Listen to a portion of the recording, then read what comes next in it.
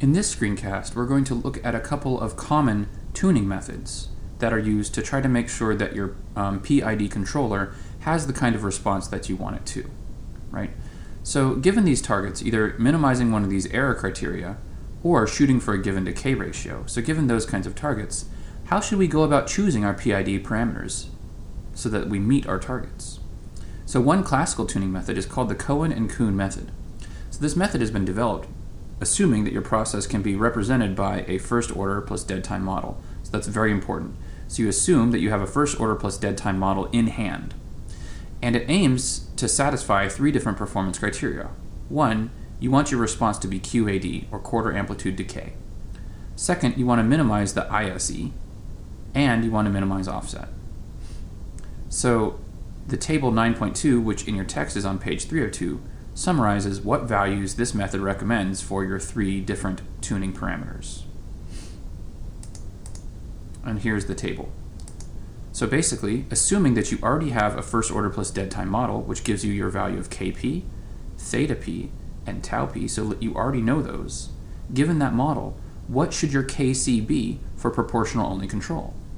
Well, it should be this. You can calculate what your Kc should be.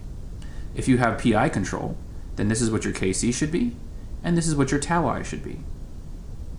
If you're trying to use PID control, then you have your Kc, your tau i, and your tau d defined by this method. So that's one classical tuning method that we could use.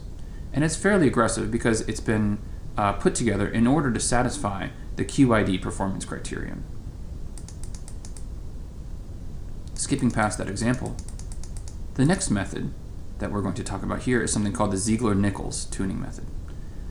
So in Ziegler-Nichols tuning, what you do is you want to first do an experiment with your system. So pretend that you're you're uh, out in the field, you're in, in, some industry, you're looking at some sort of chemical system, and what you want to do is you want to add a P-only controller to your system, and then you do a set point closed loop step test, which means that you have your system running at steady state where it's on your set point, and then you do a step test where you suddenly increase the step the set point by a certain amount at time t equals 0. So to do this kind of tuning, first you, you use proportional only action. You do your step test and see what happens.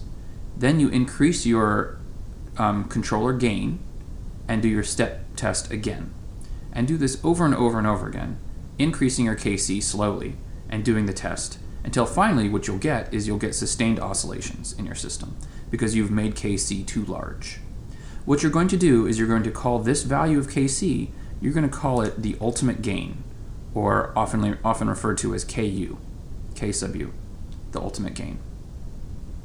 Then, when you look at those sustained oscillations, you measure the period of those sustained oscillations. That period is going to be called Pu, or the ultimate period. Once you have Ku and Pu, you can go to this table, which is table 9.3 in the book, also on page 302, and you can calculate your desired, desired PID tuning parameters. So for proportional only control, this method recommends that you use a controller gain as one half of your ultimate gain. If you have PI control, it recommends that you use your uh, proportional gain as 45% of your ultimate gain, and then your tau i is going to be your ultimate period divided by 1.2, etc. You can also read these uh, what you should do for PID control right off of the table. Now these Ziegler-Nichols tuning uh, settings are fairly aggressive, and they may require fine tuning if you want to get everything right. So for example, if this is if these are the two PI parameters that the Ziegler-Nichols tuning method, uh, or sorry, if these are the two PI parameters that the Ziegler-Nichols tuning method um, gives you, and it ends up being too aggressive, or maybe not aggressive enough, you might want to just change them on the fly using something called field tuning or fine tuning. So you have some parameter ft, which you might set to be equal to, I don't know, 0.8 if you want your um, controller to be more aggressive than what the Ziegler-Nichols uh, tuning parameters have given you, or maybe 1.2 if you want it to be less aggressive. Then basically what you'll do is you'll choose the value of your ft, your fine tuning parameter, and you'll calculate new values of your controller and see how those perform. That will that way what it will do is it will you'll have the right ratio between Kc and tau i, according to Ziegler-Nichols, except for, you, for you'll be adjusting that um, the actual values by this ft parameter.